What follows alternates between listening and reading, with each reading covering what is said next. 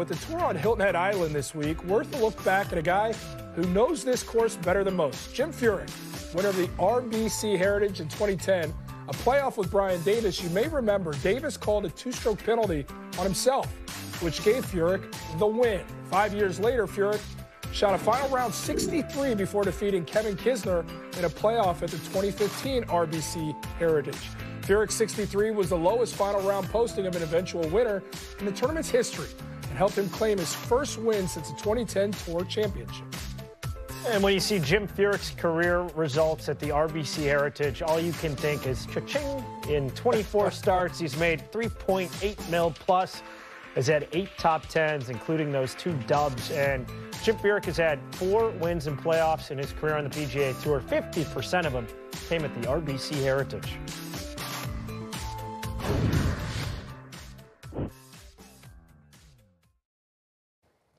We now have 17 time PGA Tour winner Jim Furyk with us, who's playing this week at the Invited Classic on the PGA Tour Champions in Irving, Texas. Jim, let's start with the RBC Heritage, obviously, an event you've won twice. Back in 2010, it was your second win that season. At that time, could you sense this could be a monster year? Uh, I was hoping so. I was hoping. It had been a little, a few years since I'd won, I believe, 2010.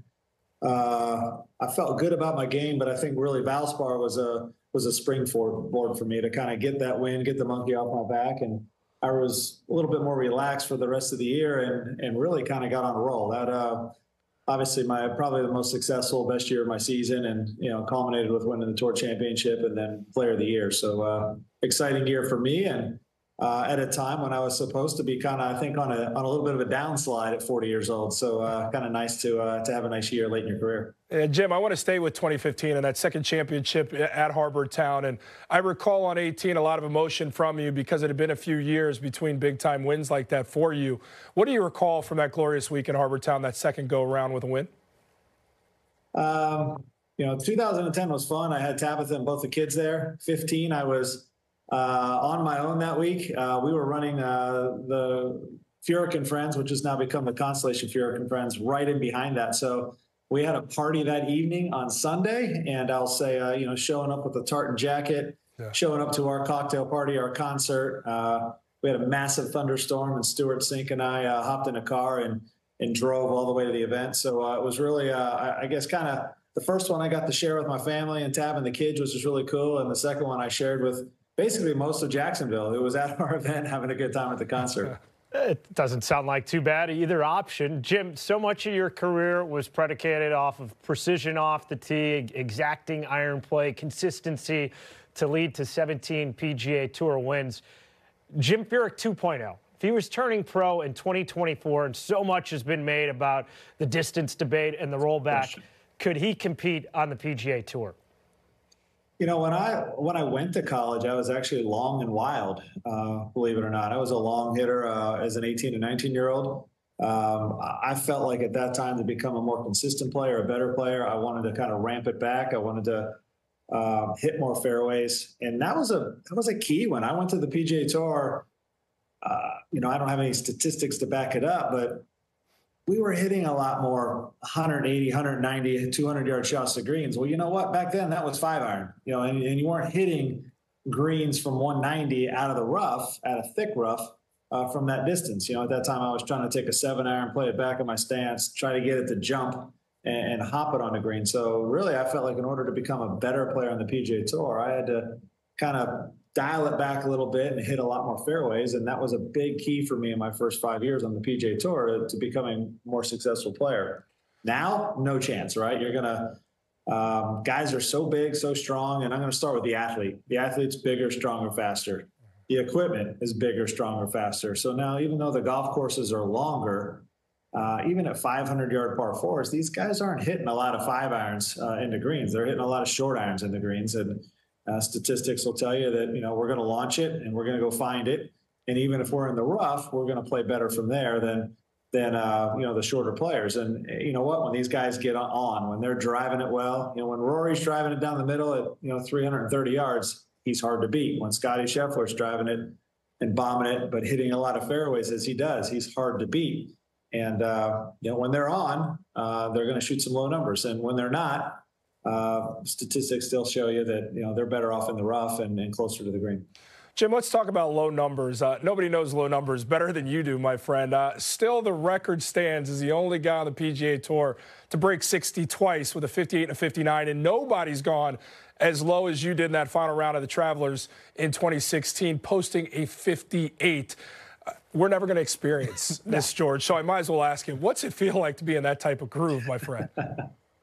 Uh, a lot of fun. I guess you can call it the zone, whatever you want to say about it, but you know, being a guy that was known for, I guess, tough golf courses and grinding out pars, um, you know, I, I, still, I look back early in my career, I won in Vegas three times at 25 under, 28 under, 29 under. I think I was comfortable with both formats, but uh, really cool to be able to do it again, kind of later in my career at the age of 43 and 46, shooting the 59 and 58. But, uh, you know, it, it's, I like to say it's not any different than breaking 90, 80, 70 for the first time uh, I never really considered having the opportunity to to break 60 on the PGA Tour, but uh, you know, luckily I got a couple opportunities. I made the most of it, and uh, really kind of had to pinch myself in the middle of those back nines both times, and and basically tell myself to enjoy it. I mean, have a great time. You don't get these opportunities very often. Let's have fun with it, and and uh, let's be aggressive. And if you're going to go down, let's go down in flames. Let's go down being aggressive.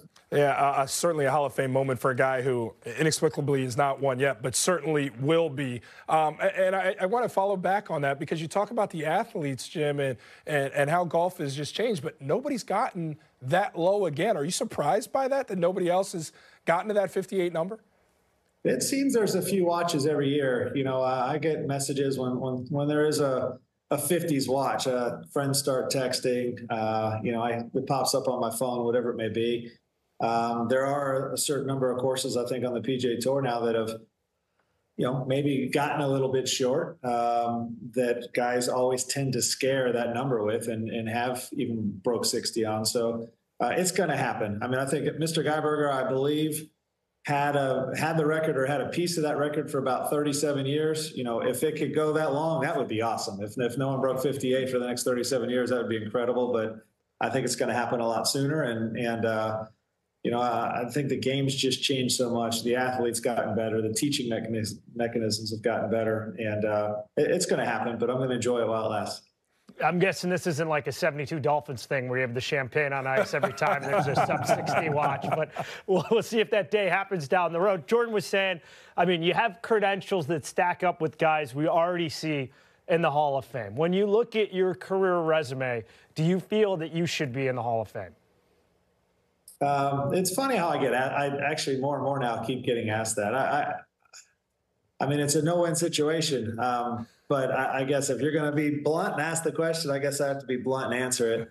Uh, I, I, agree. I think there's uh, there's some folks, uh, there's quite a few folks in the Hall of Fame where my, my record stacks up. I think it's as good or better, and and uh, but but ultimately that's really not my decision. I think uh, just keep. I like to. I still enjoy playing the game. I still enjoy practicing and getting better. And um, I was on that finals list uh, the last time around, and, and hopefully we'll be the next. Well, Jim, thanks so much for the time this week. Best of luck at the Invited Classic. And of course, we'll be checking in with you throughout the year leading up to the President's Cup later this fall in Montreal. I'm excited about leading uh, the U.S. team and uh, keeping an eye. I usually don't watch a ton of golf, but I will admit that uh, I'm glued to the TV a lot of Sundays and rooting for. Uh, you know, I root for everyone, but I'm really rooting for the American guys that have an opportunity to make the team, and and uh, it's been exciting to watch. We had some great finishes at the Masters last week. Yeah, I can uh, certainly imagine you got you got some good options at the top of that American team. Play well this week. I appreciate it, guys. Nice being on with you.